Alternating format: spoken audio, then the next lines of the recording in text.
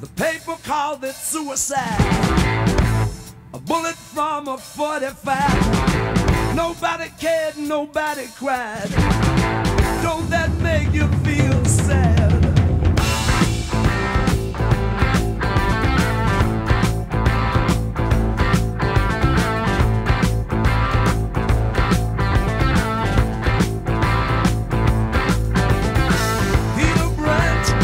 His hair and sent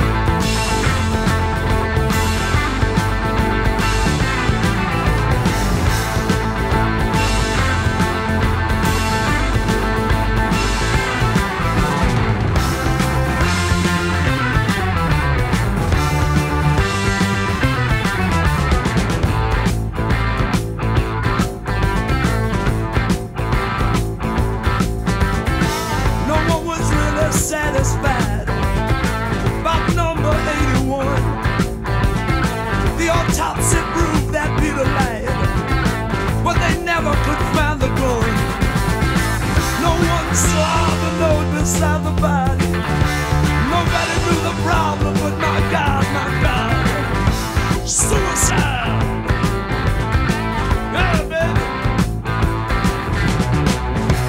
The paper called it suicide. A bullet from a 45. Nobody cared, nobody cried. Don't that make you wanna boogie?